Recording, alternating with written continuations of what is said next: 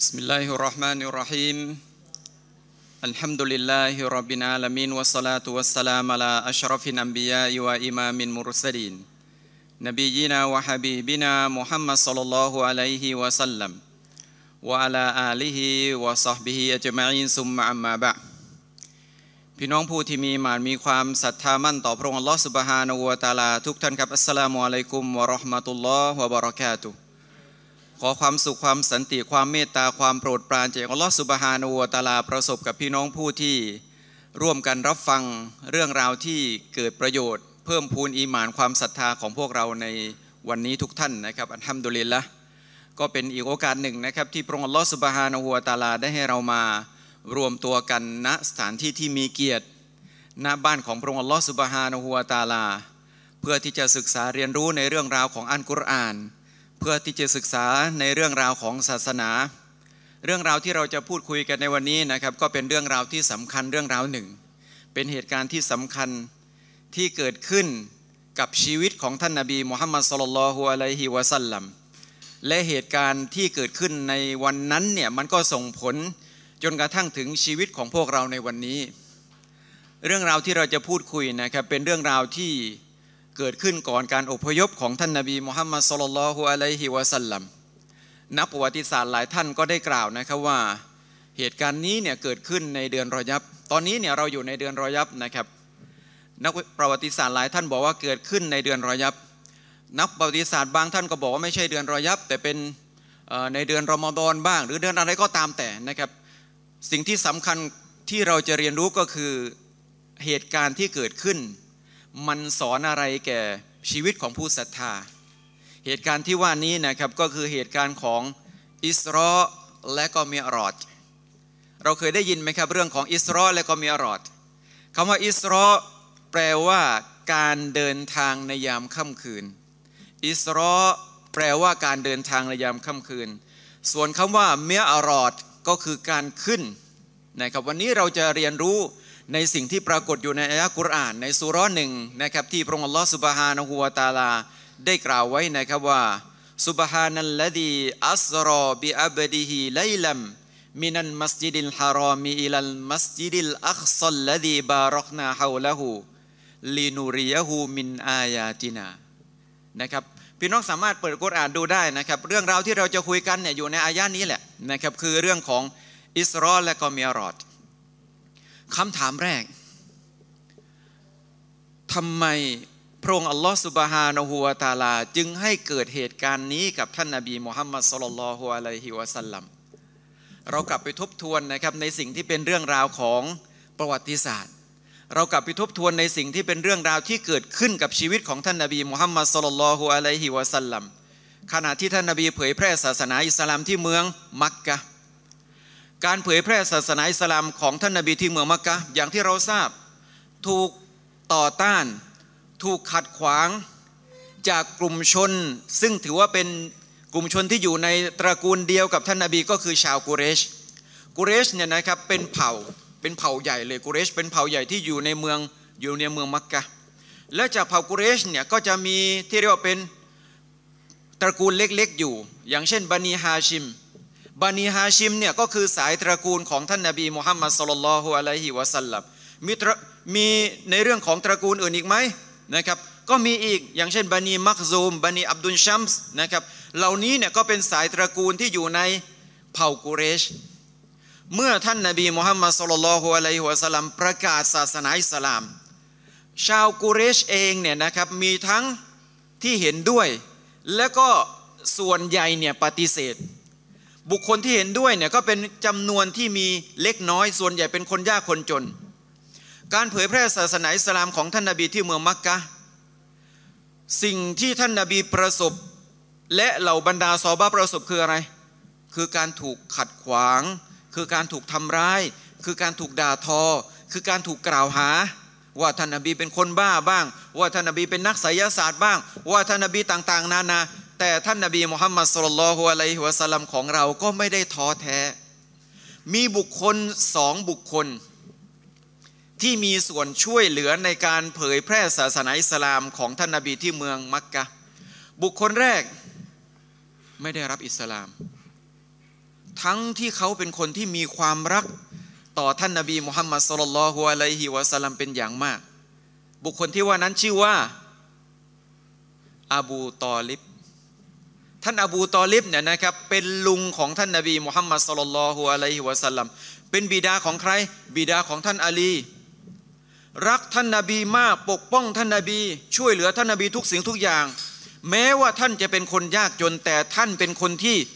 มีเกียรติและก็มีตำแหน่งในเผ่ากุเรช เพราะนั้นเผ่ากุเรชเนี่ยจึงเกรงใจท่านอบูตอลิบแต่ท่านอบูตอลิบ ก็ยังไม่สามารถที่จะกล่าวกลิมาชาฮดะالله أكبرรักท่านนาบี ปกป้องท่านนาบี ขาดอย่างเดียว คือการกล่าวว่าلا إله إلا الله محمد رسول اللهอีกบุคคลหนึ่งที่คอยช่วยเหลือสนับสนุนท่านนาบีมุฮัมมัดصلى الله عليه وسلمบุคคลนั้นก็คือภรรยาอันเป็นที่รัก ก็คือท่านหญิงคอดียะرضي الله عنها ท่านหญิงคอดียะเนี่ยเป็นเศรษฐินีที่มีความร่ำรวย มีกองคาราวานที่ออกไปในเรื่องของการค้าขายไม่ว่าจะเป็นในเมืองชามหรือเมืองเยเมนท่านท่านหญิงคอดียะเนี่ยเป็นคนที่ร่ำรวย หลังจากที่ท่านหญิงคอดียะแต่งงานกับท่านนาบีมุฮัมมัดสุลลัลฮุอะลัยฮิวะสัลลัมท่านได้ใช้ทรัพย์สินเงินทองของท่านเนี่ยในการช่วยเหลือเผยแพร่ศาสนาให้กับท่านนาบีมุฮัมมัดสุลลัลฮุอะลัยวะสัลลัม การต่อต้านของชาวกุเรชที่มีต่อท่านนาบีเนี่ยจนกระทั่งพวกเขาเนี่ยนะครับได้เขาเรียกว่าเป็นเขาเรียกว่าเป็นการบอยคอรดทางเศรษฐกิจ ใช้ศัพท์สมัยใหม่การบอยคอรดก็คือให้บันีฮาชิมเนี่ยไปอยู่ระหว่างสองหุบเขาในเมืองมักกะห้ามติดต่อค้าขาย ห้ามซื้อห้ามขาย ห้ามเยี่ยมห้ามแต่งงาน คือปล่อยให้บันีฮาชิมก็คือท่านนาบีและคนอื่น ทั้งที่ไม่ใช่มุสลิมเนี่ยถูกกักขังอยู่ในเชียเชียบุญแปลว่าที่ราบระหว่างสองหุบเขาในเมืองมักกะมันเกิดความยากลำบากมาก จนกระทั่งซอฮาบะของท่านนาบีมุฮัมมัดสลลัลฮุอะลัยวะสัลลัมได้เคยเล่าถึงเหตุการณ์ที่เกิดขึ้น ในขณะที่พวกเขาเหล่านั้นเนี่ยถูกกักขังอยู่ตรงนั้นนะครับว่า พวกเราตื่นขึ้นมาในตอนกลางคืนด้วยกับความหิวกระหาย และครั้งหนึ่งเนี่ยเราได้ออกไปปัสสาวะ และระหว่างที่ปัสสาวะเนี่ยระหว่างที่ปัสสาวะลงไปกระทบกับพื้นเนี่ยรู้สึกว่าสิ่งที่กระทบกับปัสสาวะเนี่ยไม่ใช่ใบไม้ ไม่ใช่ก้อนหิน แต่เป็นเศษหนัง เราก็หยิบเศษหนังนำมาล้าง แล้วนำมาป่นเพื่อที่จะนำมาสู่การรับประทานالله أكبرเห็นถึงความลำบากของเราบรรดาซอฮาบะ ที่เกิดขึ้น ในการอดทนต่อการกล่าวว่าلا إله إلا الله محمد رسول اللهมันเทียบไม่ได้กับสมัยยุคสมัยของพวกเราเลยใช่ไหมพี่น้อง มันเทียบไม่ได้กับพวกเราเลย ทุกวันนี้เนี่ยนะครับ เราอยู่ท่ามกลางเนี๊ยะมัตความเมตตาความสุขสบายจากพระองค์อัลลอฮ์سبحانه وتعالى แต่พวกเราหลายหลายคนก็ยังไม่มีความมั่นคงในศาสนาของพระองค์อัลลอฮ์สุบฮานะฮูวาตาลา จนกระทั่งนะครับเมื่อพันธสัญญาที่ว่านั้นเนี่ยได้ถูกยกเลิกบันิฮาชิมเนี่ยก็ออกมา แต่จากความลำบากที่เกิดขึ้น ขณะที่โบคอลานั้นถูกร้อมกรอบอยู่ในในชะหรือในที่ราบตรงนั้นเนี่ยทำให้ท่านทั้งอบูตอลิบ และท่านหญิงคอดียะเนี่ยเจ็บป่วย จนกระทั่งทั้งสองคนเสียชีวิตอัลลอฮ์ท่านนบีมุฮัมมัดสุลลัลฮุอะลัยวะสัลลัมเนี่ยเปรียบเสมือนกับตัวคนเดียวในตอนนั้น คนที่มีคนที่มีตำแหน่ง คนที่มีอำนาจในเมืองมักกะที่เคยช่วยเหลือท่านเสียชีวิตลุงของท่านอบูตอลิบแต่เป็นเป็นภาพที่น่าหดหู่อย่างหนึ่งพี่น้อง วันที่ท่านอบูตอลิบเนี่ยนะครับเจ็บป่วยที่และไปสู่การเสียชีวิตเนี่ยท่านนบีไปหาท่านอบูตอลิบด้วยกับความรักรักสิ คนที่เคยปกป้องคนเคยดูแล คนที่เคยช่วยเหลือ ท่านนบีรักท่านอบูตอลิบมาก ท่านนบีบอกแก่ท่านอบูตอลิบนะครับว่าيا عم โอ้ลุงของฉัน قل لا إله إلا الله ลุงกล่าวคำเดียว กล่าวว่า لا إله إلا الله เนี่ยแล้วฉันจะนำคำพูดนี้ของลุงเนี่ยไปบอกต่อพระองค์ลอสุบฮานูวตาลา เพื่ออะไรเพื่อให้ลุงเนี่ยนะครับปลอดภัย จากการถูกลงโทษของพระองค์ลอสุบฮานูวตาลา แต่รอบๆของอบูตอเลบเนี่ยใคร อบูยาฮัน อบูละฮับตัวตัวชากาศทั้งนั้นเลยศัตรูทั้งนั้นเลย อบูยาฮันอบูอบูละฮับว่าไงอบูตอเลบแกจะปฏิเสธศาสนาของบิดาของแกกันนั้นหรือ จะปฏิเสธศาสนาของอับดุลมุตตอเลบกันนั้นหรือ อบูตอเล็บคิดนี่ก็หลานเป็นที่รักกำลังมาบอก บอกให้กล่าวคำว่าلا إله إلا الله เนี่ยแต่อันนี้ไอคนรอบข้างไอ้นี่ก็พี่ อันนี้ก็คนที่เป็นคนที่ใกล้ชิดมาบอกว่าเจ้าจะละทิ้งศาสนาของอับดุลมุตตเลบกันนั้นหรือهداية หรือทางนำถ้าพระองค์อัลลอฮฺسبحانه وتعالى ไม่ให้เกิดขึ้นกับหัวหนึ่งหัวใจหนึ่งหัวใจใดพี่น้อง แม้ว่าเราจะพยายามสักแค่ไหนก็ไม่สามารถที่จะทำได้ พระองค์อัลลอฮฺสุบฮานุวะตาลาปิดกั้นฮีดายะจากหัวใจของท่านอบูตอเลบอบูตอเลบก่อนที่วิญญาณจะออกจากร่างกล่าวว่า ฉันขอตายไปในแนวทางของอับดุลมุตตอเลบ ท่านนบีร้องไห้ เสียใจมาก ท่านนบีกล่าวนะครับว่าฉันจะขออภัยโทษให้กับท่านอบูตอเลบตราบใดที่พระองค์ลอสุบฮานะฮัวตาลายังไม่ห้าม พระองค์ลอสุบฮานะฮัวตาลาประทานกุรอานลงมาเลย มาคานลินมุมินีนอยัสตัฟิรูนะลินมุชริกีนะวะลากานะดันกุรบามิมบะดิมาตะบยนะละหูอันนะหูมินอัสฮาบินยะฮิม ไม่เป็นการสมควรสำหรับบุคคลผู้ที่เป็นผู้ศรัทธาจะขออภัยโทษให้กับบุคคลผู้ที่ตายไปในสภาพของการปฏิเสธ ตรงนี้สอนอะไรให้กับเรา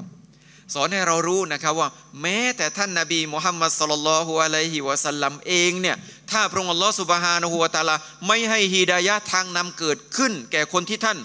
ต้องการที่จะเผยต้องการที่จะเรียกร้องมาสู่อิสลามได้ไหมอินนักาลาตฮดีมันอับบับตะ ระองค์อัลลอฮฺสุบฮานะฮูวะตาลาส่งอายะต่อมาเลยมุฮัมมัดอินนะกะแท้จริงท่านเนี่ยลาตฮดีมันอับบับตะไม่สามารถที่จะให้ทางนำแก่บุคคลที่ท่านรักได้ เรารักคนรอบข้างไหมบางทีเรามีเพื่อนที่ไม่ใช่มุสลิมเรารักไหมรักทำธุรกิจร่วมกัน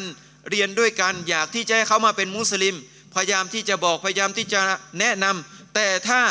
พระองค์อัลลอฮฺสุบฮานุวะตาลาไม่ให้ไม่ฮิดายะได้ไหมพี่น้องไม่ได้ ไม่ได้ อินนักลาตฮดีมันอับบับตะวลากินนัลลอฮะยฮดีไมยยชาแต่พระองค์ลอสุบฮานุวตาลาจะเป็นผู้ที่ให้ทางนำแก่บรรดาบุคคลผู้ที่พระองค์ลอสุบฮานุวตาลาทรงประสงค์ ตรงนี้เป็นสิ่งที่เราจะต้องรู้นะครับว่า วันนี้เนี่ยการที่เราเป็นมุสลิมเนี่ยไม่ใช่ด้วยกับความบังเอิญนะเราจะต้องขอบคุณ เราจะต้องชูโกตต่อพระองค์ลอสุบฮานุวตาลามาก ๆ ที่วันนี้พระองค์อัลลอฮฺสุบฮานุวะตาลาให้เราเป็นมุสลิม ให้เรากล่าวว่าลาอิลาฮินัลลอฮ์มีมนุษย์ทั่วโลกอีกมากมายเลย ที่ไม่ได้รับทางนำตรงนี้จากพระองค์อัลลอฮฺสุบฮานุวะตาลาแต่เราอัลลอฮ์ให้เป็นมุสลิม เพราะนั้นเราจะต้องรักษาความเป็นมุสลิมของเรา จนกระทั่งถึงเมื่อไรวะบุรบบะกะฮัตตายะติยากันยากีนอิบาดะเป็นบ่าวที่ดีของพระองค์อัลลอฮฺสุบฮานูวะตาลาจนกระทั่งความตายมาถึง จนกระทั่งความตายมาถึง จะต้องขอบคุณจะต้องชูโกรเพราะนี่ไม่ใช่เป็นความบังเอิญนะ ไม่ใช่เราเกิดมาอัลลอฮ์ในบัตรประชาชนเขียนว่านายมุฮัมมัดศาสนาอิสลาม ไม่ใช่นะครับเป็นเราเป็นบุคคลผู้ที่พระองค์ลอสุบฮานูวะตาลาเลือกมาให้มาเป็นมุสลิม ท่านอบูตอเลบเสียชีวิต ท่านนบีเสียใจไหมเสียใจ ต่อมาอีกไม่นาน ท่านหญิงคอดียะล้มเจ็บالله أكبر เสียชีวิตอีกคนทั้งสองคนเสียชีวิต ท่านนบีรู้สึกว่า โอ้ตอนนี้ไม่มีใครที่จะคอย support คอยสนับสนุน ไม่ว่าจะเป็นเรื่องของทรัพย์สินเงินทอง ไม่ว่าจะเป็นเรื่องของกำลังใจ ไม่ว่าจะเป็นเรื่องของการปกป้องกุเรชพอเห็นท่านหญิงคอดียะและท่านอบูตอเลบเสียชีวิตเอาหนักเลยทีนี้ ต่อต้านจนกระทั่งคิดแผนการว่าจะฆ่าจะสังหารมุฮัมมัดสลลัลฮุอะลัยฮิวะสัลลัมท่านนบีคิด อยู่มักกะนี่ไม่ได้แล้ว เผยแพร่ศาสนาก็ถูกขัดขวาง อยู่ก็มีคนที่เป็นศัตรูเนี่ยพยายามที่จะทำร้ายจนกระทั่งถึง อาจจะไปสู่การเข็นฆ่า ท่านนบีกลัวไหมไม่ด้ท่านนบีไม่ได้กลัว เพราะนี่คือหน้าที่นี่คือความรับผิดชอบจากพระองค์ลอสุบฮานวตาลา แต่ศาสนาอิสลามท่านนบีคิดแบบนี้ แต่ศาสนาอิสลามทำอย่างไรอิสลามเนี่ยถ่ายทอดจนกระทั่งถึงบุคคล บุคคลอื่นจนกระทั่งถึงวันกิยามะนี่คือความคิดของท่านนาบีมุฮัมมัดสุลลัลฮุอะลัยวะสัลลัมเพราะด้วยกับความคิดนี้แหละทำให้อิสลามมาถึงยุคสมัยของพวกเราในปัจจุบัน ถ้าในวันนั้นท่านนาบีท้อแท้อัลลอฮ์อบูตอเลบก็ตายแล้ว ท่านหญิงคอดียะก็ตายแล้วไม่มีใครคอยปกป้องเลิกเลิกไม่เผยแพร่ศาสนาพวกเราจบไหมจบท่านบีก็คิด เอ๊ะทำไงดีนะ เดี๋ยวเดี๋ยวต้องไปหาเมืองอื่น ต้องไปเรียกร้องคนในเมืองอื่น เพื่อที่ว่าบุคคลเหล่านั้นเนี่ยจะตอบรับและสนับสนุนการเผยแพร่ศาสนา จะไปที่ไหนดี เมืองที่อยู่ใกล้ที่สุด คือเมืองตอเอฟพี่น้องเคยไปตอเอฟไหมตอเอฟเนี่ยนะครับเป็นเมืองซึ่งอยู่ห่างจากมักกะประมาณ 80 กิโลเมตรเป็นแต่เป็นเมืองที่อยู่บนภูเขา อากาศในเมืองตอเอฟเนี่ยจะหนาวเกือบทั้งปีเลย แต่ในยุคสมัยนบีเนี่ยมีรถเหมือนสมัยเราไหมไม่มีเดินเท้าพี่น้อง ยุคสมัยนบีนี่เดินเท้า และระยะทางจากเมืองมักกะไปตอเอฟเนี่ยทั้งเป็นเมืองเป็นทั้งก้อนหิน ทั้งก้อนดิน และรองเท้าเหมือนสมัยปัจจุบันพวกเราไม่ได้มีไม่ได้มีจักรยานไม่มีอะไรนะ เดินเท้า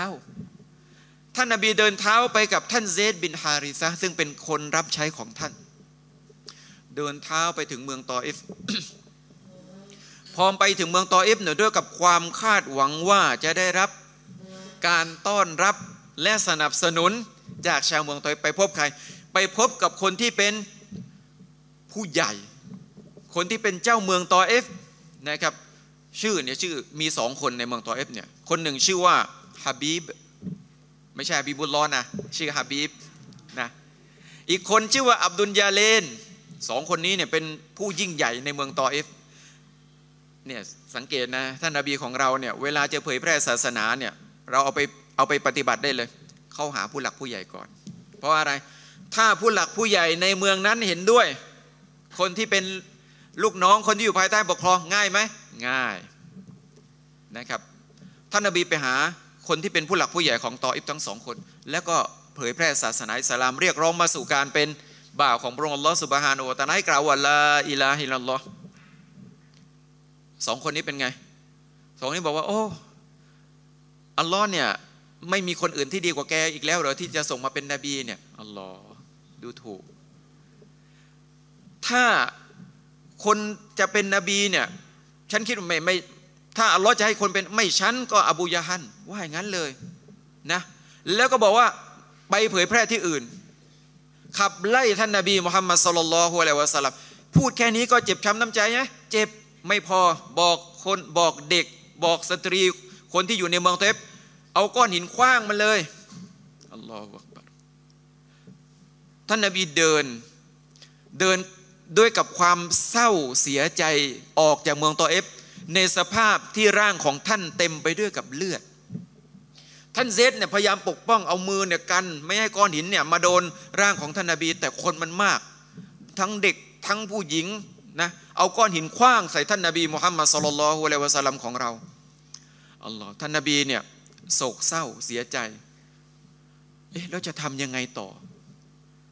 จะเผยแพร่ศาสนาอิสลามอย่างไร หวังว่าชาวตอเอฟจะสนับสนุน ชาวตอเอฟก็ไม่เอาด้วยมิหนำซ้ำยังเอาก้อนหินมาขว้าง นบีเสียใจมาก เดินทางกลับมายังเมืองมักกะ และระหว่างทางพี่น้องที่รักทั้งหลาย พระองค์ลอสุบฮานอวตาลาก็ส่งท่านยิบรีนมาหาท่านนบี และท่านเยบรีนก็กล่าวนะครับว่ายามุฮัมมัดอินนัลลอฮะอัลลอฮฺวะจัลละพระองค์อัลลอฮฺสุบฮานุวะตะลาผู้ทรงยิ่งใหญ่เนี่ยก็สมียมากอละหูเกามะกะลัก ได้ยิน ในสิ่งที่ชาวเมืองตอเอฟ และชาวเมืองมักกะเนี่ยพูดถึงท่าน พระองค์อัลลอฮ์รู้ไม่ใช่หมายไม่ใช่หมายความว่าสิ่งที่ท่านนบีเผยแพร่ สิ่งที่ท่านนบีกำลังเรียกร้องมาสู่ศาสนาอิสลามการถูกต่อต้านอัลลอฮ์อัลลอฮ์รู้หมดเลยอัลลอฮ์สุบฮานะฮูวาตาลาส่งยิบรีนมาหาท่านนบี และก็บอกแก่ท่านนบีนะครับว่ายามุฮัมมัดพระองค์อัลลอฮ์สุบฮานะฮูวาตาลารู้และก็ได้ยิน ในสิ่งต่างๆที่เกิดขึ้นกับตัวของท่านจากชาวเมืองมักกะและชาวเมืองตอเอฟที่มากับฉันเนี่ยคือมาเลกะที่ทำหน้าที่ในการปกป้องภูเขาใหญ่ระหว่างเมืองตอเอฟและเมืองมักกะและพระองค์อัลลอฮฺสุบฮานุวะตะลาบอกให้ท่านนบีสั่งได้เลยสามารถสั่งได้เลย สั่งมาลายกาที่ทำหน้าที่ในการปกครองภูเขาเนี่ย สั่งตามที่มุฮัมมัดปรารถนาได้เลย ถ้าเป็นพวกเราเป็นไง เอาไง เอาลองว่ามาสิเมื่อกี้ไปไปเผยแพร่ศาสนาไปเรียกร้องมาสู่อัลลอฮฺสุบานุวะตะลามันเอาก้อนหินคว้าง ชาวเมืองมักกะกันแกล้งทำไง ได้โอกาสแล้ว ถ้าเป็นพวกเราใช่ไหมแต่ท่านนบีมุฮัมมัดสุลลัลฮุอะลัยวะสัลลัมพระองค์อัลลอฮฺสุบฮานาวะตะลากล่าวถึงท่านว่าไงว่ามาอัลสันนากะอิลลารอห์มะตัลลิลอาลามีน เราไม่ได้ส่งมุฮัมหมัดมามาเพื่ออื่นใด เว้นแต่เป็นความเมตตาแก่มนุษยชาตินะครับเอาเรามาดูคำสนทนาระหว่างท่านนบีมุฮัมมัดสุลลัลฮุอะลัยวะสัลลัมของเรากับมาลายกะที่ทำหน้าที่ในการปกป้องภูเขา ท่านนาบีได้ฟาซัลละมาอาลามะลกินจิบานท่านนาบีได้ให้สลาม กับมาลายกาที่ทำหน้าที่ในการดูแลภูเขาระหว่างเมืองตอเอฟและเมืองมักกะ วกอละอัสสลามุอะลัยกะยามุฮัมมัดมาลากาก็ตอบรับสลาม และมาลากาก็กล่าวนะครับว่ายามุฮัมมัดโอ้มุฮัมมัดเอ๋ยมุรนีบิมาชิตาจงสั่งต้องการอะไรบอกฉันเลยวะลาอามรตานีอันอุตบบิกอะลัยฮิมอักบะชัยนีละฟะอันตุหากแม้นว่าท่านสั่ง ให้ฉันเนี่ยทำให้นำภูเขาที่อยู่ระหว่างเมืองตอเอฟและเมืองมักกะให้มาประสานกันเนี่ยทันทีเลย มาแล้วก็บอกฉันจะทำทันทีเลย เพราะอัลลอฮฺสุบฮานุวะตาลาอนุมัติมาแล้ว ได้รับไฟเขียวมาจากพระองค์อัลลอฮฺสุบฮานุวะตาลาแล้ว สั่งอย่างเดียว เดี๋ยวจัดการให้ มาดูท่านนบีของเรานะครับท่านนบีมุฮัมมัดสุลลัลฮุอะลัยวะสัลลัมบอกว่าลาอย่าทำแบบนั้นอัลลอฮฺ บันไม่ไม่แค่นั้นนะ อย่าไปทำแบบนั้น อย่าทำแบบนั้น บันอินนันีอัรยุลลอฮ์และฉันหวังจากพระองค์อัลลอฮฺสุบฮานะฮูวาตาลาอยะครุยามินอัสลาบิฮิม ให้ลูกหลานของพวกเขาเนี่ยของชาวเมืองมักกะของชาวเมืองตอเอฟเนี่ยمن يوحد الله عز وجل ให้เติบโตมาในสภาพของการให้เอกภาพต่อพระองค์อัลลอฮฺسبحانه وتعالى الله أكبر ไม่ได้ไม่ได้โกรธแค้นเลยนะ ไม่ได้โมโหเลยนะ แต่สิ่งที่ท่านนบีปรารถนาคืออะไร ให้พวกเขาเหล่านั้น ลูกหลานของพวกเขาเหล่านั้นเป็น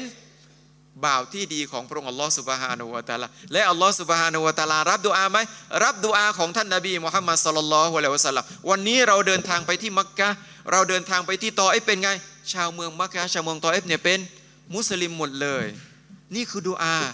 ของท่านนบีมุฮัมมัดصلى الله عليه وسلم สอนอะไรเรา เวลาเราฟังเรื่องราวอย่าเราอย่าฟังเฉยๆนะเอ๊เหตุการณ์นี้เนี่ยมันสอนอะไรเรา สอนอะไรเราพี่น้อง สอนให้เรารู้ว่าการให้อภัยกับคนอื่น ที่มาเป็นศัตรูกับเรา มันจะนำมาซึ่งสิ่งที่ดีกว่า ถ้าวันนั้นท่านนาบีมุฮัมมัดสุลลัลฮุอะลัยฮิวะสัลลัมสั่งให้มาเลยกะเอาภูเขาทั้งสองลูกมาประกบกันเป็นไง มันก็จบถูกไหมตาย มุสลิมเพิ่มขึ้นไหมไม่เพิ่ม แต่ท่านนาบีขอดุอาจากพระองค์อัลลอฮฺสุบฮานุวะตาลาแบบนั้นเนี่ยทำไงทำให้ชาวเมืองมักกะและชาวเมืองตอเอฟเป็นส่วนหนึ่งของผู้ศรัทธาต่อพระองค์อัลลอฮฺสุบฮานุวะตาลาเราเช่นเดียวกัน ทุกวันนี้เนี่ยใครไม่ใครไม่มีศัตรูบ้าง หรือทุกคนมีแต่เพื่อนคนที่หวังดีกับเราหมดเลยมีไหมไม่มีมีทั้งคนที่รักมีทั้งคนที่เกลียด แต่ถ้าวันนี้เรามัวแต่คิดที่จะแก้แค้นคนที่เกลียดเราเนี่ยเป็นไงได้ได้เรื่องได้ราวไหมวันวันจะคิด เอ๊ะทำอย่างไรมันจะแก้แค้นที่มันทำกับฉันที่มันพูดถึงฉันแบบ จะทำอย่างไรดิวันวันก็วนอยู่แบบนั้นแหละ แต่ทุกถ้าทุกวันนี้เนี่ยไม่เป็นไรอภัยมาให้มันขอดุอาจากพระองค์อัลลอฮฺสุบฮานุวะตาลาให้เข้าใจในสิ่งที่เราให้เข้าใจในสิ่งที่เราคิด ให้เข้าใจในสิ่งที่เราทำให้เขากลับมาเป็นเพื่อน เป็นคนที่ที่ดีกับเรา ดีไหมพี่น้อง ดีอะกลับมายังเมืองมักกะาวเมืองมักกะเอาหนักเลยทีนี้ ได้รับรู้ข่าวมาว่ามุฮัมมัดไปตอเอฟ ชาวตอเอฟปฏิเสธ ทีนี้แหละมักกะไม่มีคนช่วยปกป้อง ไม่มีคนช่วยดูแล เอาให้หนักเลย พระองค์ลอสุบฮานะฮูวตาลา ก็เลยให้เหตุการณ์นี้เกิดขึ้นกับท่านนาบีมุฮัมมัดสุลลัลฮุอะลัยฮิวะสัลลัมเพื่อเป็นการบอกแก่ท่านนาบีนะครับว่า แม้ว่ามนุษย์ทั้งโลก จะปฏิเสธ จะขัดขวาง จะไม่เชื่อฟังในสิ่งที่เจ้ากำลังนำมา แต่ให้มุฮัมมัดรู้ว่าพระองค์อัลลอฮฺสุบฮานาอูวะตะลาจะอยู่กับมุฮัมมัดสุลลัลลอฮุอะลัยฮิวะสัลลัมเหมือนกำลังบอกกับพวกเรา ว่าวันนี้การที่เราเป็นมุสลิม เราอยู่ท่ามกลางคนที่ไม่ใช่มุสลิม เราอยู่ในสังคมที่บางครั้งอาจจะถูกกดขี่ข่มเหงอาจจะถูกดูถูก แต่ให้เรารู้ว่าถ้าเรายืนหยัดในการเป็นบ่าวของพระองค์อัลลอฮฺสุบฮานาอูวะตะลาพระองค์อัลลอฮฺสุบฮานาอูวะตะลาจะ จะอยู่กับเราจะช่วยเหลือเราค่ำคืนหนึ่ง ท่านนาบีได้นอนอยู่ที่บ้านของท่านหญิงอุมูฮานี ซึ่งเป็นป้าของท่าน ท่านยิบรินอะลัยสลามเนี่ยก็ได้ลงมายังบ้านของท่านหญิงอุมูฮานีมาหาท่านนาบีในยามค่ำคืน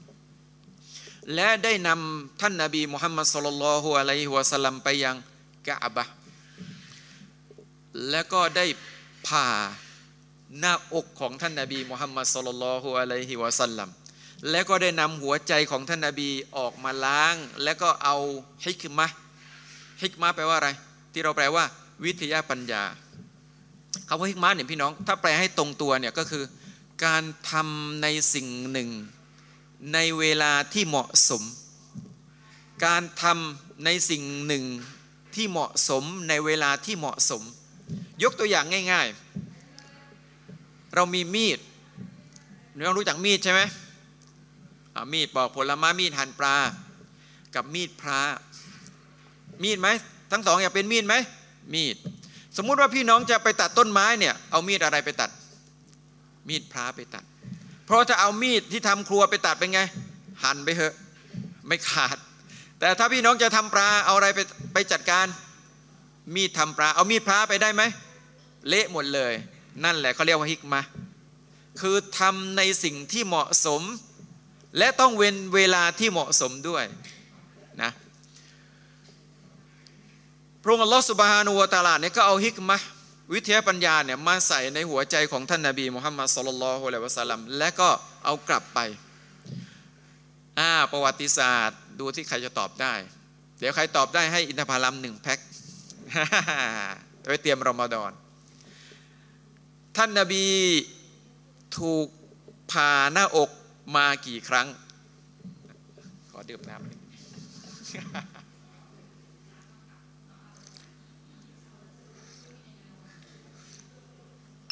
อ้าวยกมือตอบสามครั้ง ครั้งแรก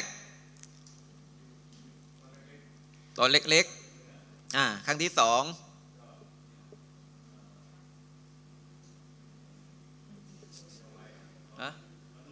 ตอน หนุ่ม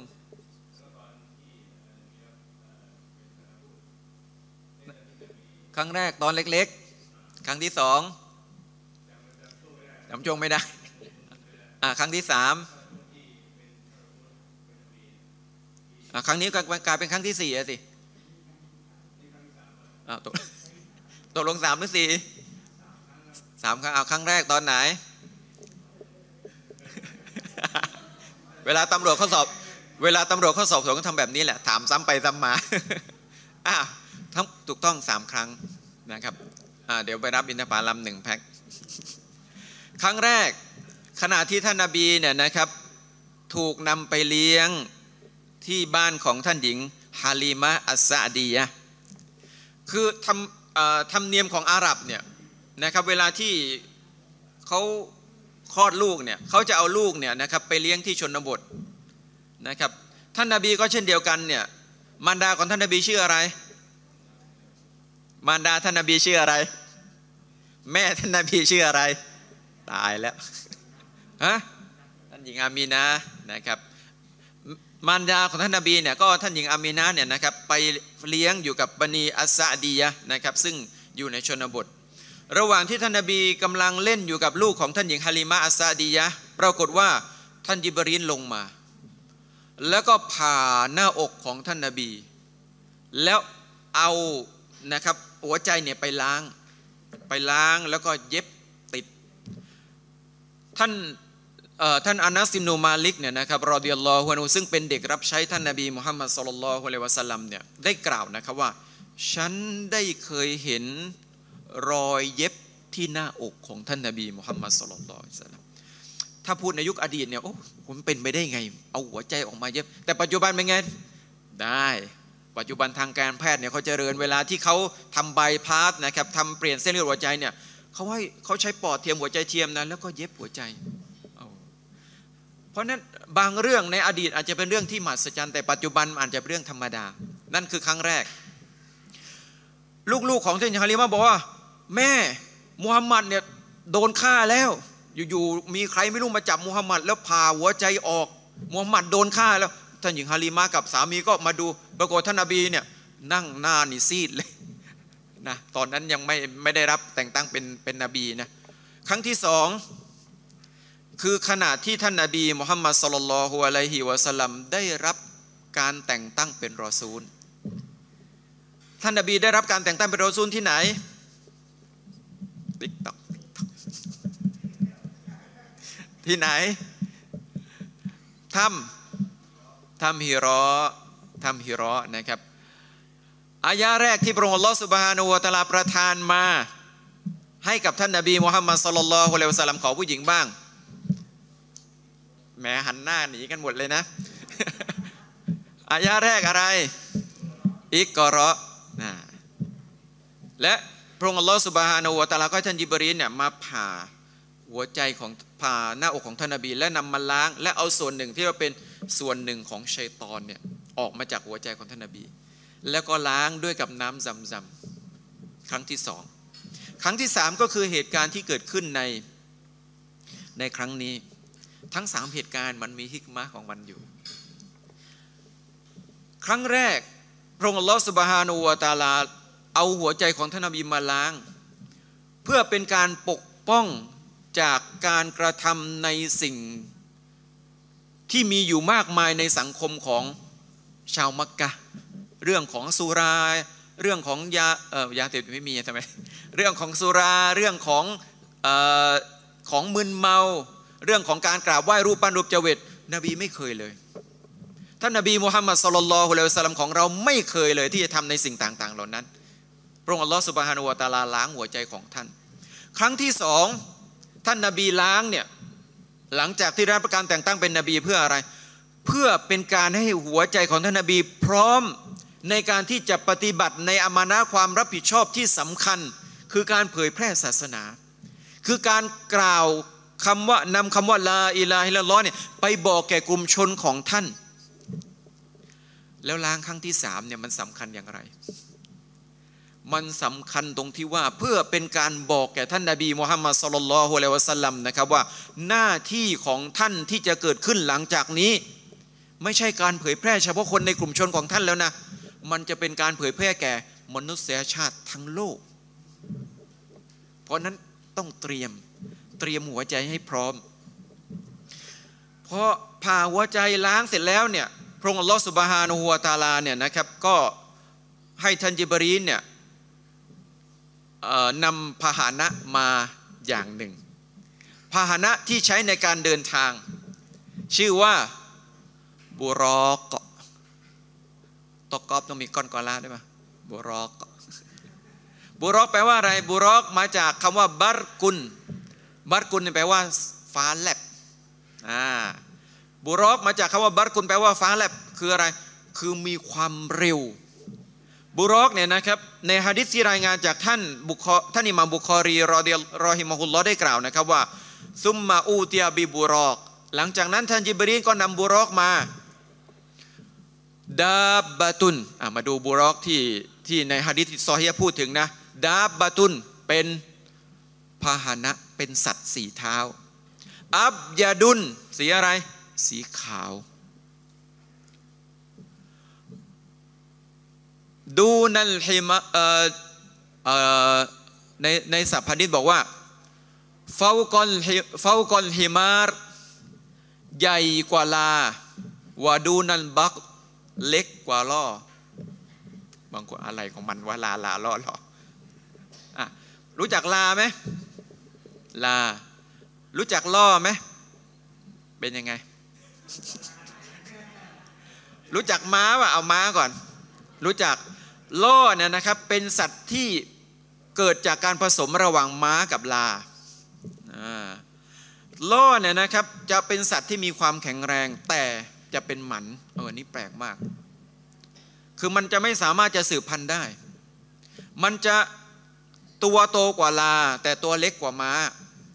จะเป็นสัตว์ที่มีความแข็งแรง จะเป็นสัตว์ที่ชาวอาหรับเนี่ยหรืออประเทศที่มีล่อเนี่ยเขาจะใช้เป็นพาหนะ จะใช้ในการขี่ในการขนนะครับพวกสิ่งของต่างๆ ในยุคสมัยอดีต ปัจจุบันก็มีนะเคยไปใครเคยไปอียิปต์บ้าง ในอียิปต์เนี่ยมีนะลากนะเอาเอาลาเอาล่อเนี่ยใส่ของแล้วก็ลากของขายทำไปเห็นแน่ไม่เขาไม่ใช้ม้านะเขาใช้สัตว์พวกนี้แหละ เพราะนั้นบุรอกในสิ่งที่ท่าน นบีมุฮัมมัดพานะที่ท่านนบีมุฮัมมัดสุลลัลฮุอะลัยฮิสลามได้ออกเดินทางเนี่ยจึงไม่ใช่เราเคยเห็นภาพบุรอกไหมเคยเห็นไหมโอ้ติดตามฝาผนังแถวบ้านเคยเห็นไหมสวยเชียวนะมีหน้าเป็นคนด้วย ไม่ใช่แบบนั้นป่ะไม่ใช่นะ เพราะในฮะดิษท่านนบีบอกแค่ว่าเป็นสัตว์สีขาว ตัวตัวโตกว่าลาเล็กกว่าล่อแค่นั้นเองนั่นนั่นคือสิ่งที่ ฮะดิษของท่านนบีมุฮัมมัดสุลลัลฮุลัยฮิสลามได้กล่าวถึง และแต่ละก้าวของบุรอกเนี่ยนะครับท่านนบีบอกว่าระยะทางแต่ละก้าวเนี่ยสุดสายตา สมมติเหมือนลองลองเราเนี่ยเรามองไปข้างหน้า สุดสายตาเรานั่นคือหนึ่งก้าวนั่นคือหนึ่งก้าวและท่านนบีมุฮัมมัดสุลลัลฮุอะลัยวะสัลลัมก็ได้โดยสารบุรอกไปพร้อมกับท่านยิบรีนอะลัยสลาม เราเรียกการโดยสารบุรอกนี้ว่า อิสรอ คือการเดินทางในยามค่ำคืนจากไหน จากมักกะไปยังไบตุนมักดีสคำถาม แล้วทำไมพระองค์อัลลอฮฺสุบฮานะฮูวาตาลา จึงไม่ให้ท่านนาบีเนี่ยขึ้นไปเมียอรอดเพราะเมียอรอดแปลว่าขึ้น ขึ้นไปรับบทบัญญัติที่สำคัญเนี่ยจากมักกะเลยทำไมต้องเดินทางไปยังไบตุนมักดิสด้วย เออเอาเคยคิดไหม ในเมื่อพระองค์อัลอสุบานุวาตาสามารถไหม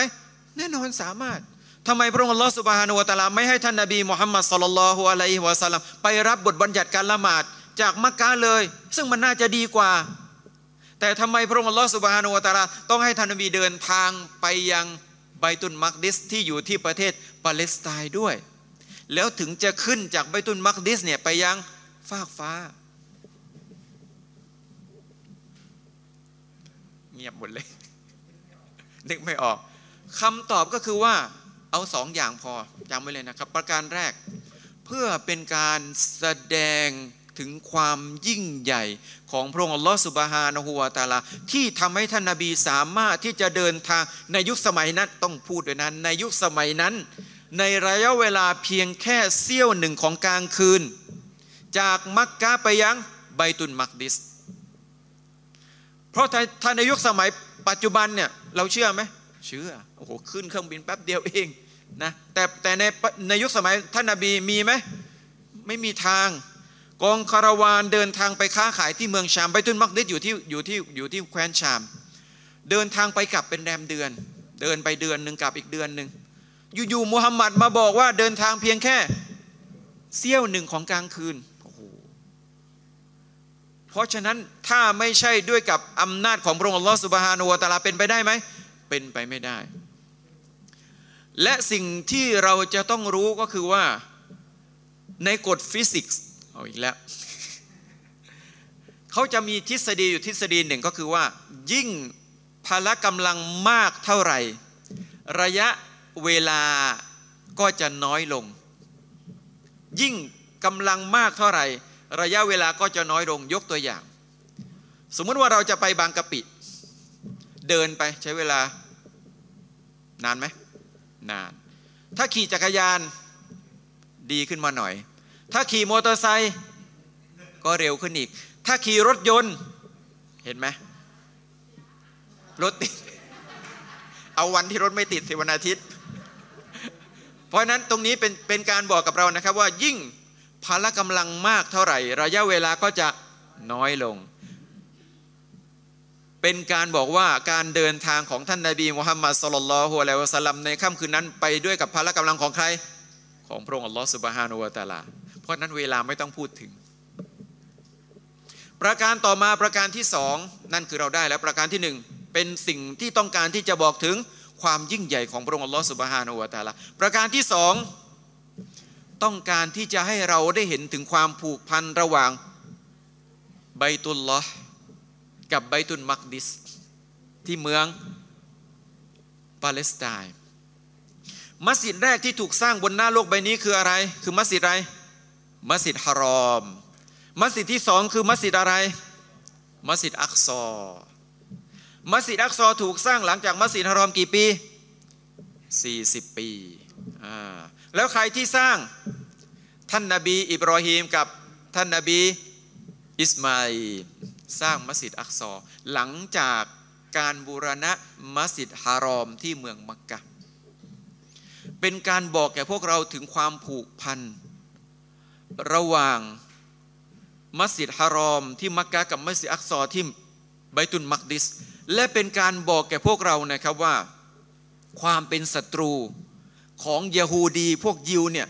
ที่มีต่อพวกเราเนี่ยมันเป็นเรื่องของอากีดะหลักความเชื่อและเป็นเรื่องของการดำรงอยู่ของเผ่าพันธุ์ มันไม่ใช่เรื่องนะครับของการตั้งเมืองหรือเป็นเรื่องของการครอบครอง เพราะถ้าเป็นเรื่องของการครอบครองการตั้งเมืองจบไปยัง จบแล้ว ตอนนี้ยูมันยึดไบตุนมักดิสยึดปาเลสไตน์ไปเกือบหมดแล้ว มันไม่ใช่เรื่องแบบนั้น แต่ทุกวันนี้เนี่ยถามว่ายูมันยังยังยังอยู่เฉยๆไหมแต่ละวันเนี่ยเข้าไปยึดครองต่อให้ขับไล่พี่น้องของเราต่อ เพราะนั้นเหตุการณ์ระหว่างยาฮูดีกับมุสลิมเนี่ยมันไม่ใช่เรื่องของแผ่นดิน มันเป็นเรื่องของหลักความเชื่อ ที่พวกเขาเหล่านั้น อิจฉาพวกเรา อิจฉาท่านนาบีมุฮัมมัดสุลลัลฮุอะลัยฮิวะสัลลัมเพราะเหล่าบรรดาอัมบียะตั้งแต่ยุคสมัยอดีตนะครับเป็นลูกหลานของใคร ลูกหลานของท่านอิบราฮิมหมดแหละ ท่านนบีอิบราฮิมมีลูกสองคน เดี๋ยวแจกอินทผลัมอีกแพ็คหนึ่งดีกว่า ท่านนบีอิบราฮิมมีลูกสองคน ลูกคนแรกชื่อว่า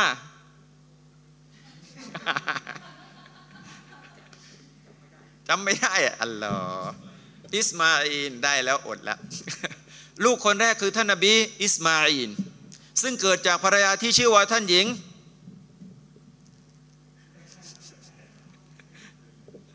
ฮะ ฮายัดฮายัดลูกคนที่สองของท่านนบีบราฮิมชื่อว่า อ่าเสื้อเขียว นบีอะไร นบีอะไรอะอะลูก ลูกของท่านนบีบรอฮิมมีสองคน คนแรกคือท่านนบีอิสมาอินซึ่งเกิดจากภรรยาที่ชื่อว่าฮายัรท่านนบีอิบรอฮิมแต่งงานคนแรกภรรยาชื่อว่าซารอเอาใบให้ก่อน แต่ไม่มีลูกในตอนแรก แล้วก็มาแต่งงานกับภรรยาคนที่สองคือท่านหญิงฮายัรแล้วก็มีลูกชื่อว่า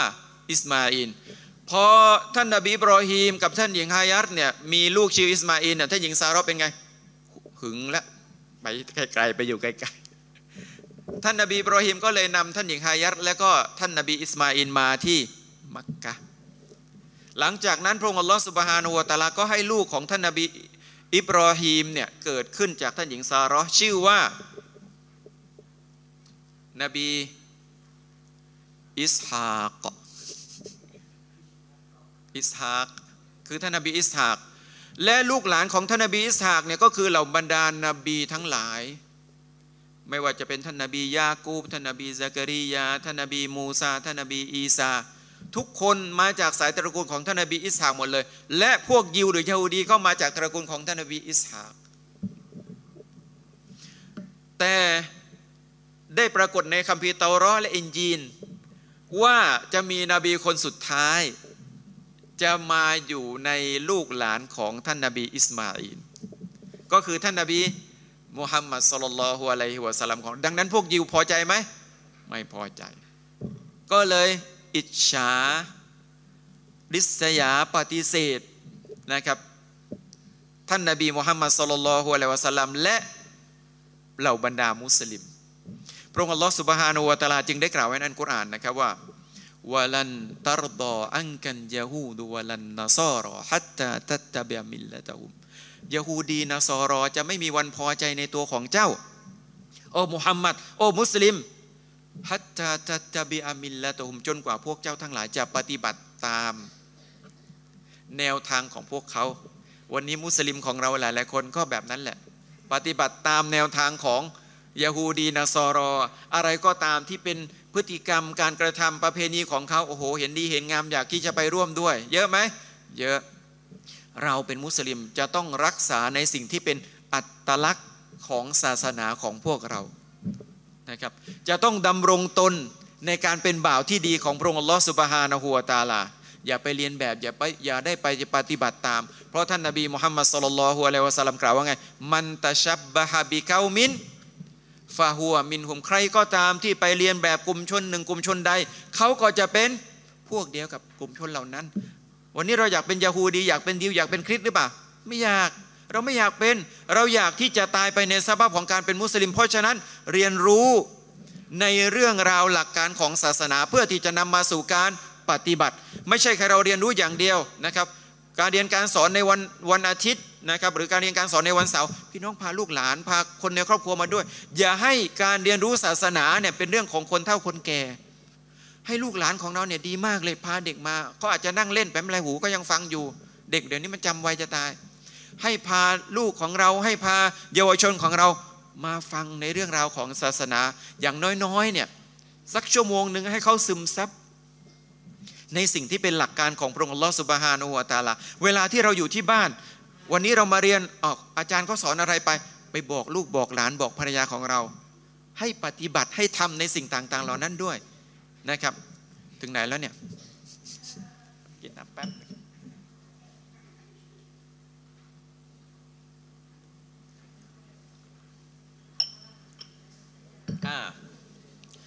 สิ่งที่สองคือพระองค์อัลลอฮฺสุบฮานาวตาลา ต้องการที่จะให้เรามีความผูกพัน ระหว่างมัสยิดฮารอมที่มักกะกับมัสยิดอักซอที่ไบตุนมักดิส นะครับพระองค์อัลลอฮฺสุบฮานาอูตาลาก็ให้ท่านนบีมุฮัมมัดสุลลัลฮุอะลัยฮิวะสัลลัมโดยสารบุรอกจากมักกะไปยังไบตุนมักดิส บุรอกเนี่ยนะครับเป็นสัตว์พาหนะที่เหล่าบรรดาอัมบียะบรรดานาบี ตั้งแต่ยุคสมัยอดีตเนี่ยได้ใช้ในการโดยสาร แสดงว่าไม่ใช่เฉพาะท่านนบีมุฮัมมัดสุลลัลลอฮุอะลัยฮิสลามของเรา บรรดานาบีตั้งแต่อดีตท่านนบีบรอฮีมเนี่ยนะครับท่านนบีบรอฮีมเนี่ยได้นำ ลูกและก็ภรรยามาที่มักกะแต่ท่านนบีบรมอยู่ที่ไหน อยู่ที่ประเทศอิรักนู่นนะอยู่ที่ปาเลสไตน์นู่นแล้วท่านก็ขี่บุรอกนี่แหละมา แสดงว่าบุรอกเนี่ยไม่ใช่เป็นสัตว์เฉพาะท่านนบีของเรา แต่เป็นสัตว์ที่ใช้ในการโดยสารของเราบรรดาอัมบียะตั้งแต่ยุคสมัยอดีตพอเดินทางมาถึงไบตุนมักดิส ท่านนบีก็เอาสายเชือกที่น่าจะเป็นเขาเรียกบางบาง บางเหียนใช่ไหมเอามาผูกนะครับที่ที่เขาเรียกว่าเป็นที่ผูกของเราบรรดาบิยะตั้งแต่ยุคสมัยอดีต จากนั้นเนี่ยท่านยิบรีนก็ได้นำภาภาภาชนะที่ใส่บรรจุของสองอย่างมาให้กับท่านนาบี เพื่อที่จะให้ท่านนาบีดื่ม ภาชนะแรกเนี่ยบรรจุเหล้าาชนะที่สองบรรจุนม ท่านนบีเลือกอะไร ท่านนบีเลือกดื่มนม ท่านยิบรินก็บอกนะครับว่าอิคตารตาอัตตอบีย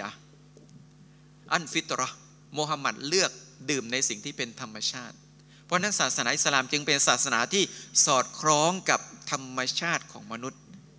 มีอะไรบ้างที่เป็นบทบัญญัติของศาสนาที่เราไม่สามารถทำได้ ละหมาดวันหนึ่งคืนหนึ่งห้าเวลาได้ไหม น้อยเหลือเกิน น่าจะมีมากกว่านั้นนะแม่บ้านพูดอย่างนี้ใช่ไหมเออเดือนถือสินในเดือนอมฎอนเดือนเดียวเองเหรอเออพอถึงเดือนอมฎอนเนี่ยอยากจะถือให้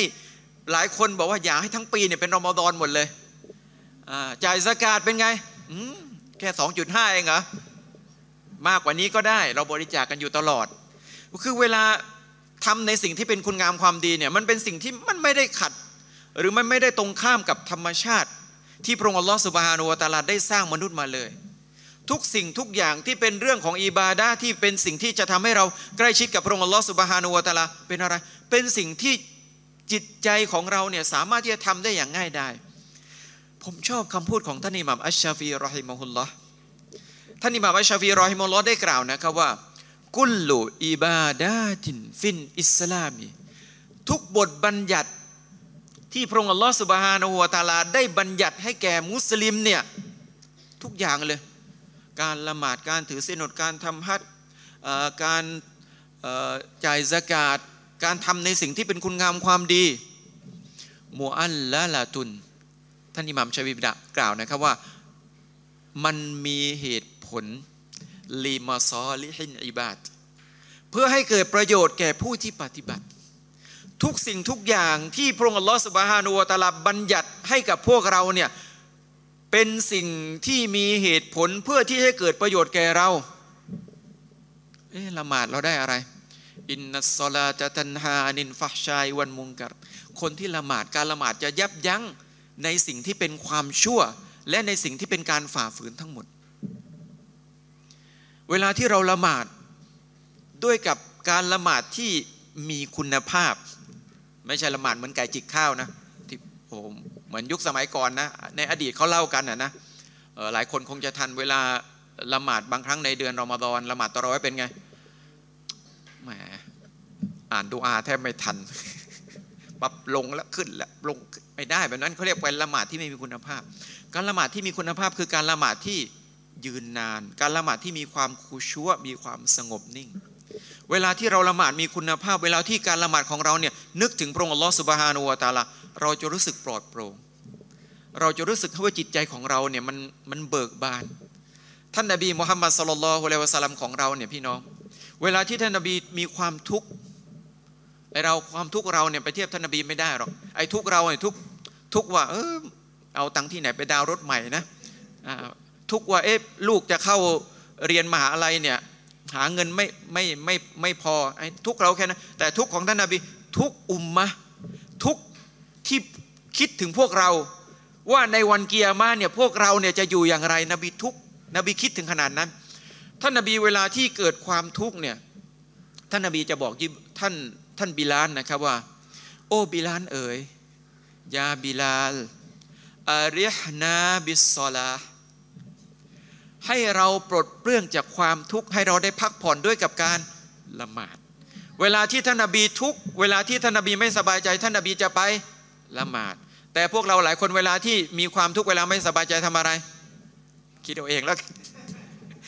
เพราะนั้นเอาเอาสุนนะท่านนบีตรงนี้ไปใช้เวลาที่เราทุกเวลาที่เราไม่สบายใจ เวลาที่เราถูกทดสอบจากพระองค์ลอสุบฮานุวะตาลพี่น้องอาบน้ำละหมาด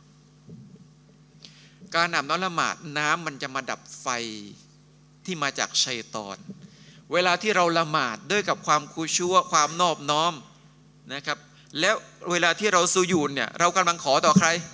ขอต่อพระองค์อัลลอฮฺสุบฮานาอะตาหลายครั้งหลายปัญหาเนี่ยเราเคยไปร้องทุกข์กับคนนั้นบอกอิมงอิหมามอิหมามก็เหม็นทำอะไรไม่ได้พูดถึงอิหมามที่นี่นะไปบอกคนนั้นก็ไม่ช่วยอะไรเราไม่ได้ เคยไหมบอกกับอัลลอฮฺสุบฮานาอะตาละละหมาดสองรอกะ สูญูดแล้วก็ขอต่อพระองค์อัลลอฮฺสุบฮานาอะตาละยาอัลลอฮฺอัลลอฮฺจ๋าฉันทุกข์เหลือเกินเรื่องนั้นเรื่องนี้ขอพระองค์อัลลอฮฺสุบฮานาอะตาลาช่วยเหลือฉันทำพี่น้อง นี่คือสุนนะของท่านนาบีมุฮัมมัดสลลัลฮุอะลัยฮิวะสัลลัมนะครับเพราะนั้นท่านอิหม่ามอัชชาฟีจึงได้กล่าวนะครับว่าทุกอิบาดะที่พระองค์อัลลอฮฺสุบฮานาอูตาลาได้บัญญัติให้กับเราเนี่ยมูอัลละละตุนบีมาซอลิฮินอิบาด เป็นจุดประสงค์เป้าหมายเพื่อที่จะให้เกิดความดีงามแก่ผู้ที่ปฏิบัติ ท่านนบีเลือกที่จะดื่มนม ท่านยิบรินบอกว่าถ้าท่านนาบีดื่มเหล้าเนี่ยอัลลอฮ์อุมมะประชาชาติของท่านนาบีเนี่ยจะเป็นขี้เมาไปหมดเลย นี่ขนาดท่านนบีไม่ได้ดื่มนะยังมีขี้เมาอีกตั้งหลายคนในหมู่ของของมุสลิมของพวกเรานี่ท่านนาบีเลือกดื่มนมเนี่ยฮัมดุลิลละนะครับพอท่านนาบีดื่มนมเสร็จแล้วเนี่ยนะครับ ปรากฏว่า ถึงเวลาละหมาดพอดี และพอท่านนบีเข้าไปยังไบตุนมักดิสอัลลอฮฺอักบารในไบตุนมักดิสเนี่ยพระองค์อัลลอฮฺสุบฮานุวะตาลาให้เหล่าบรรดาอัมบียะทั้งหมด มารวมตัวกันที่ไบตุนมักดิสที่มัสยิดอักซอพอถึงเวลาละหมาดเอาแล้วใครจะเป็นอิหมามเขาก็เกี่ยงกันนะนะบางคนบอกท่านนบีอาดัมสิเป็นบิดาของบิดาของ บรรดาอัมบียะบิดาของมนุษยชาติ บางคนก็บอกท่านนบีบรอฮีมสิ เป็นอบุญอัมบียะเป็นบิดาของบรรดาอัมบียะและทุกคนเนี่ยก็ให้ใคร ให้ใครเป็นอิหมาม ให้ท่านนบีมุฮัมมัดสุลลัลฮุอะลัยวะสัลลัมของเราเป็นอิหมามท่านนบีก็นำบรรดาอัมบียะทั้งหมดละหมาด ตรงนี้เป็นการบอกแก่พวกเรานะครับว่าศาสนาอิสลาม จะเป็นศาสนาที่จะมายกเลิกในสิ่งที่เป็นบทบัญญัติของบรรดานาบีตั้งแต่อดีต เพราะฉะนั้นท่านนาบีจึงกล่าวหากแม้ว่าท่านนาบีอีสาอลสลามฟื้นคืนชีพขึ้นมาถามแม้ว่าท่านนาบีอีสาลงลงมาตอนนี้ท่านอีสาอยู่ที่ไหน อยู่บนอยู่บนฟากฟ้า หากแม้ว่าท่านนาบีอีสาลงมาในวันนี้ ท่านนาบีอีสาก็ไม่สามารถที่จะเลือกได้นอกจากปฏิบัติตามบทบัญญัติของฉัน สารบทบัญญัติของท่านนบีมุฮัมมัดสุลลัลฮุอะลัยฮิวะสัลลัมคือบทบัญญัติสุดท้าย และจะเป็นบทบัญญัติเดียวที่จะได้รับการตอบรับยอมรับจากพระองค์อัลลอฮฺสุบฮานะฮูวาตาลาและเป็นการบอกจากเหตุการณ์นั้นนะครับว่า มุสลิม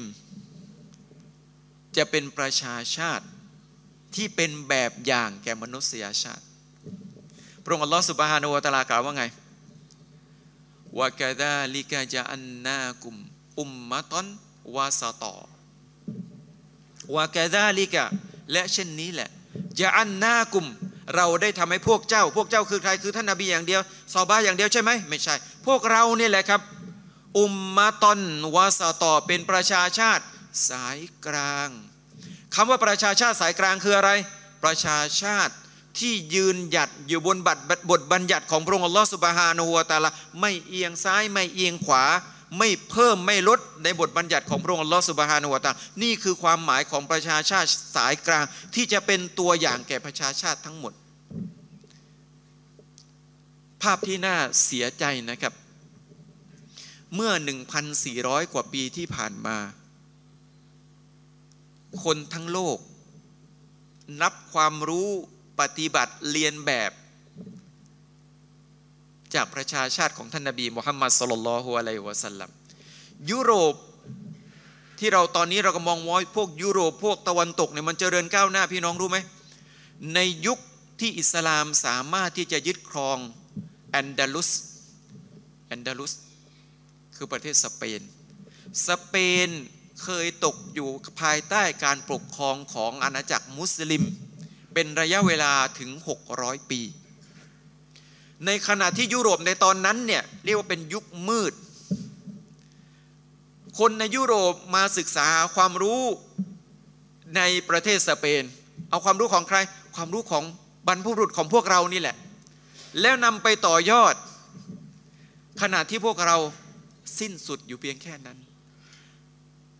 ขณะที่พวกเรามัวแต่คิด ถึงเหตุการณ์ที่เกิดขึ้นในอดีตไม่พัฒนา จนกระทั่งทุกวันนี้มันก็เป็นภาพอย่างที่เราเห็น แต่